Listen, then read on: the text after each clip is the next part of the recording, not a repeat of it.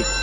Around to go. Staminator by three quarters. Second without a trail. Ever Living Legacy under the whip. Snazzy Shannon waits on a run. Three deep was Finn. And then Black Stature from Beach Fighter. Three wide is a Highlander Carl from Jacker Sandy. Flight Path. And last of all, the Spirit of Glory. They have 550 left to go. Staminator leads, but Finn's going up to pour it right on now. Snazzy Shannon third the trail. A length away next is Highlander Carl as Ever Living Legacy dropped off. Beach fight of the pegs and deep out on the track was Flight Path. Off the back straight in 29.9.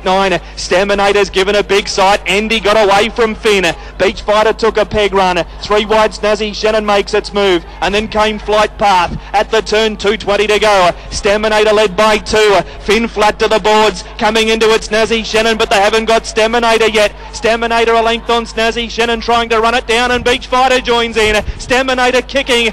Beach Fighters giving chase, but it's Staminator all the way for the Falcon. Staminator one and a half length on Beach Fighter and Snazzy Shannon. Finn fourth, then Flight Path. Next in was Jacker Sandy. Further back then, Black Stature, Spirit of Glory, Ever Living Legacy, and last in was Highlander Carl.